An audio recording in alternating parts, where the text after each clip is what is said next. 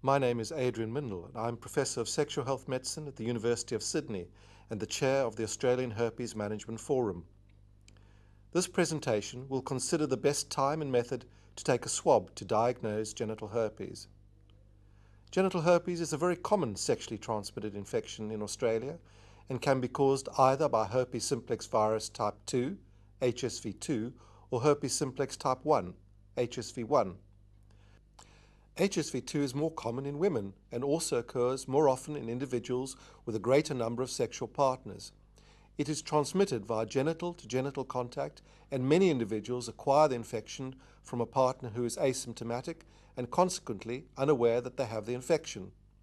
HSV1 is transmitted via orogenital sex, and in recent times, genital HSV1 infection has become more common. The signs and symptoms of HSV2 and HSV1 infection are indistinguishable. However, genital HSV2 recurs more often than genital HSV1.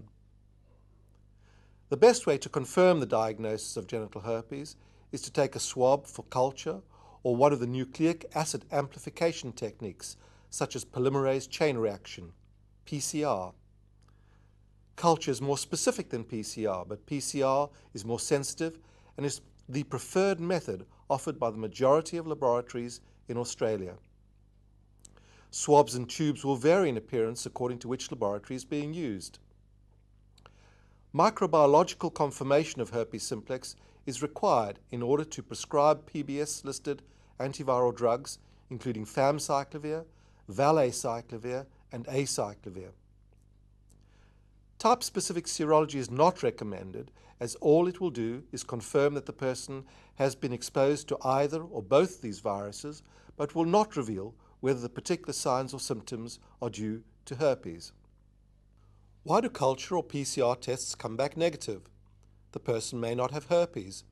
There was no virus present at the time. The culture may have been contaminated, or there may have been another laboratory related problem. An adequate specimen may not have been taken. In order to understand the best time to take a swab and why culture or PCR are sometimes negative, it is important to look at the process of viral replication. This figure shows that in the early stage of infection, when the vesicles first occur, virus shedding is at its maximum and declines rapidly. So, during the ulcer stage, there's still considerable quantity of virus present, but by the time the lesions are crusted, viral replication has markedly declined. Clearly, the best time to take a specimen is early in the course of the episode. However, this is not always possible or practical. We will now look at the practical aspects of taking specimens during the various stages of infection. It is important to remember that viral particles are usually intracellular. Consequently, areas for swabbing should always be rubbed firmly to ensure that cellular material is obtained. How to take a specimen before the development of vesicles or ulcers. First, let us look at what to do when a patient presents very early, before the development of vesicles or ulcers, and when there may be no signs of the infection or perhaps minimal erythema. Although the skin is not yet broken, it is possible to identify the virus at this time. The swab should be rubbed firmly over the erythematous area, or if there is no erythema, then over the area where the recurrences usually occur, then placed in the virus transport medium or PCR tube and sent to the laboratory. If possible and practical, it may be advisable to wait until vesicles or ulcers are present. How to take a specimen when vesicles are present. In order to obtain a suitable specimen, the vesicle needs to be burst. However, it is very important to remember that vesicle fluid is usually teeming with viral particles and hence is highly infectious. Consequently, it is important to ensure that the fluid does not come into contact with open areas on the skin or the eye. Vesicles on dry skin can be tense, and when ruptured, fluid may inadvertently be sprayed onto the skin or eye. The best way to avoid this is to burst the vesicle with a sterile needle. Place the needle flat on the skin with the open end pointing away from the operator. Gently burst the vesicle. Take a swab and collect the vesicle fluid and then rub the swab firmly over the base of the de-roofed vesicle. The swab should then be placed in virus transport medium or a PCR tube and sent to the laboratory.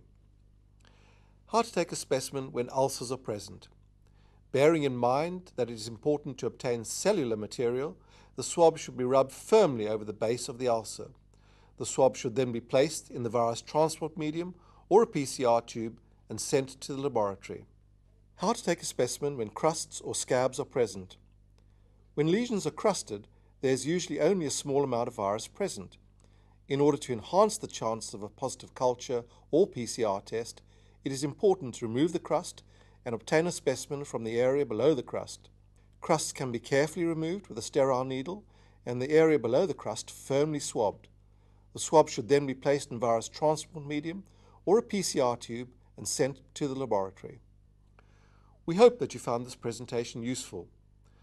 Additional resources in relation to genital herpes for you and your patients may be found on the Australian Herpes Management Forum website at www.ahmf.com.au.